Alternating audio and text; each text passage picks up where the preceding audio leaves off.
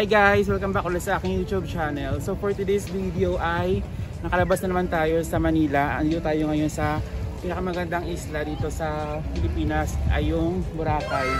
So andito tayo ngayon sa may Tambisaan Port kung saan nakita nyo yung Crocodile Island dito. Yan yung mga nag-snorkeling tsaka nag-island hopping.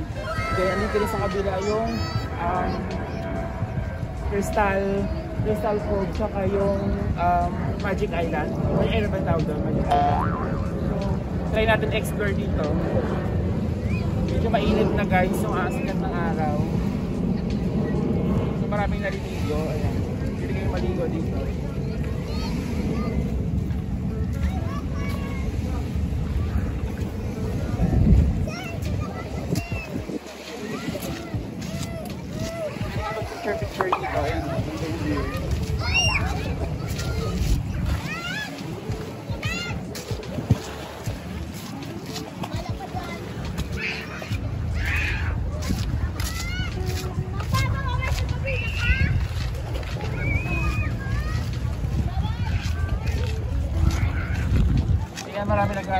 Ngayon na yun.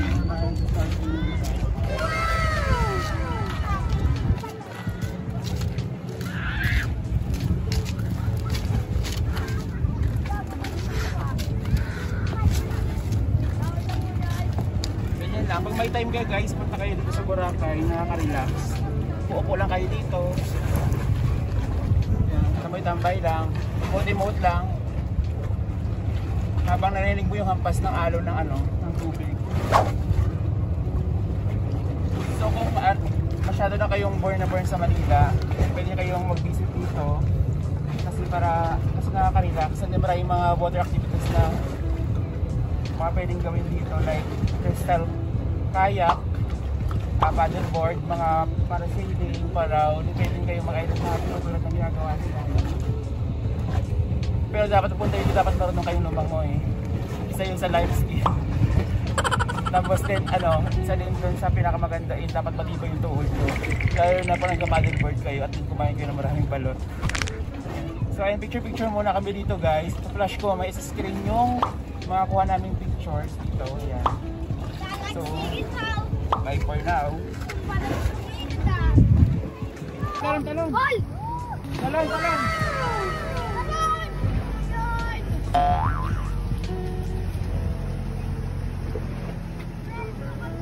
Hi guys, maayong adlaw. So welcome back ulit sa aking YouTube channel. So for today's video naman is, nandito tayo ngayon sa may Mangrove, Boracay, kung saan ito, maganda ng view.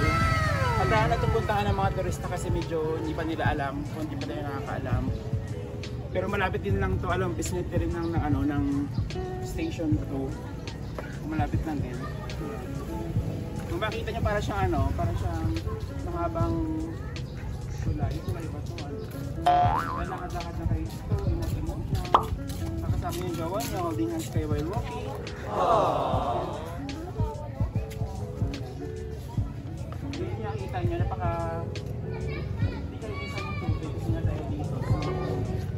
So, punta kayo dito ba't magpatabi-tabi kayo para respeto lang dito sa mga nakatira. Tabi-tabi po. Ganyan lang. Muntimot lang kayo, ganyan-ganyan lang kayo. Hanggang sa mahulog na kayo.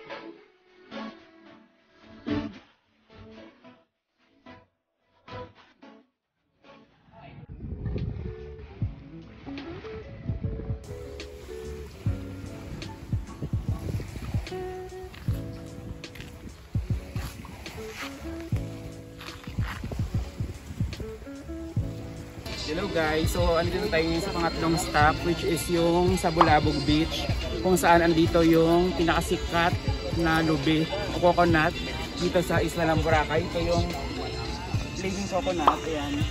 So hindi ka makakauwi ng Manila hanggat hindi ka makakapagpa-picture dyan. So ayan, nakikita niyo marami nagpapapicture. Tingnan niyo naman, ito yung, ito yung niyog na pagod.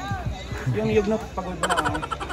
Pero unlike tayo mga Pilipino kasi di ba, napaka-resilient natin kahit na pagod na tayo, nadapa na tayo, pwede pa tayo bumabangon sa hamon ng buhay. So parang ito din yung niyog yun, no?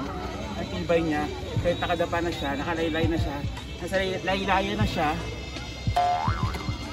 dyan, dyan pa rin siya. So for now, bili muna ako ng ice cream kasi nakaka-uhaw, tsaka isang init. Dala, ano po, isang ube tsaka isang mango. Ah, anong phone sa inyo, sir? 20, 30, 60? Yung 16 na po. So meron sila itong ice cream, ayun, pampa, pampapatid uhaw, Puro mango. mango tsaka ube po. So, mix ko yung mango at okay. Ayaw niya kasi ang pangit ko daw pag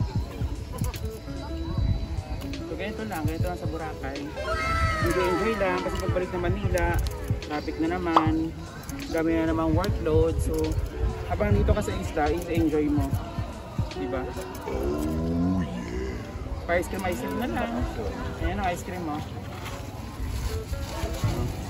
Boosh! Yum, yum, yum.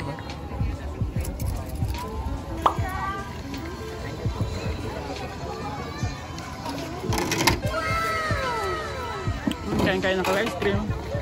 Hmm? No, na namamatay yung gano. Dapat pag kumain kayo ng asin, marunong kayong dumilap. Sa, sa mga requirements.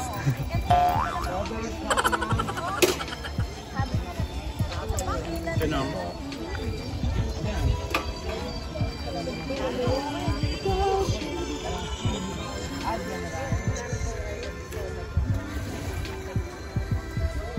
Hindi namin nagpa-picture. Pwede kayo picture dyan ng mga mag-jowa. Kahit mga walang jowa, pwede magpa-picture dyan. Walang ano, walang requirements.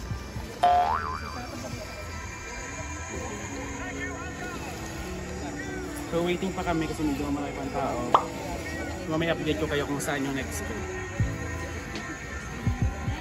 Hi guys! So we are here at Newcos Beach kung saan papunta na tayo sa pinaka-exciting part which is yung keyhole. Maglalakad tayo papunta doon. Kasi dati kasi pwede yung motor papunta doon, yung hindi na. Wala dito lang. So lalakarin muna natin to. Kasi ganda muna tayo bago maganda yung ano, magandang kinabukasan. So lakad-lakad lang. I-reminisce mo lang yung magandang beach. Ayan o, ang ganda. Kita nyo. Ang ganda ng beach. Mas maganda pa sa mga jowa nyo. Ayan. Nakaka-inlove. Ang puti ng buhangin. Ang linis ng tubig. Lakad-lakad lang tayo.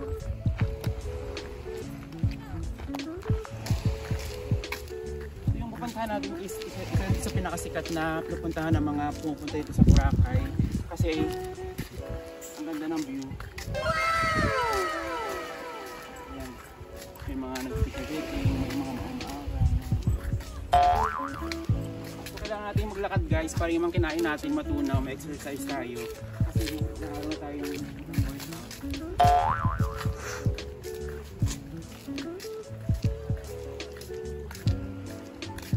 second time, ah, second time ko dito sa Boracay pero Sana hindi pa na ako isa pupuntahan kasi sino ba naman hindi ma in love sa lugar na to. Napaka breathtaking ng ambience.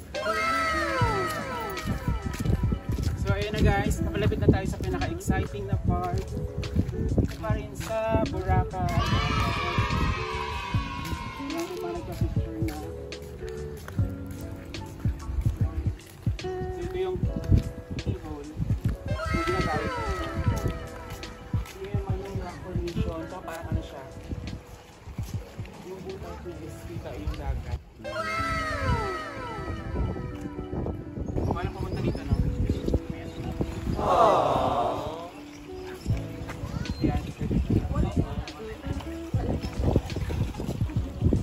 Lahat na mapupunta dito sa Boracay, huwag niyo makalimutang puntahan to guys. It's a must see to go.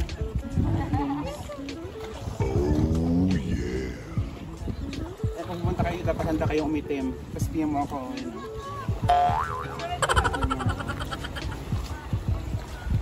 So waiting muna kami kasi medyo may mga picture pa. So sa ngayon, boosh. Thank you. thank you